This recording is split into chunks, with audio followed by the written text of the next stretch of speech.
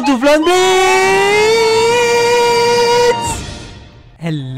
Everyone, Pantouf here today for a special video. Today in the Blitz tactic we're gonna see the technique called side scrap which consists on something really simple. Using a building you are going to hide your frontal armor to your opponent which means he will have to shoot at your uh, side armor but your side armor is gonna be quite armored for him which means you will make him bounce. That's a really useful technique that you have to use on every single one of your heavies except if they are not armored like the 50B. How to side scrap correctly? It's really simple, it's all about angling your tank. When you do it, try to make sure that the enemies shoot before you try to shoot him back.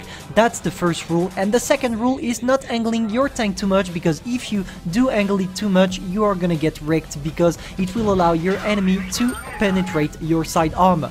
Let's take a look at what happens when you angle your tank too much. As you can see from the left screen, we are angling our tank really too much. I think it's more it's more than 60 degrees for the Grille, so it's an overmatch for us.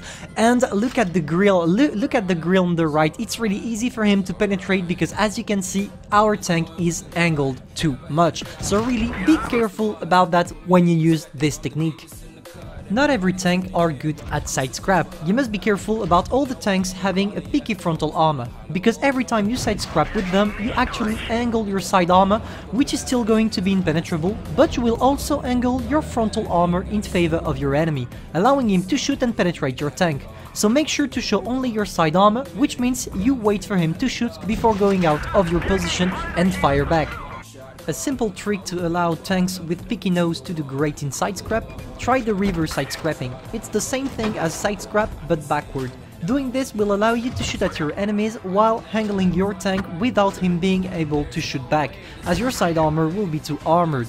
Definitely a funny technique to try. And to finish with this technique, I wanted to talk with you about the most OP tanks in side scrap, the tanks that are really, really great in side scrap, and these are the heavies with their turret mounted backward.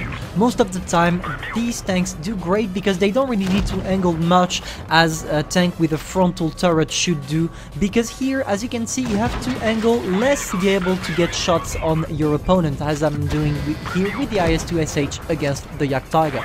Congratulations, now you know how to side scrap your tank. I hope you enjoyed this quick video about this technique which is really common. It's definitely a technique you have to know when you are playing with heavy tanks, especially with armored one.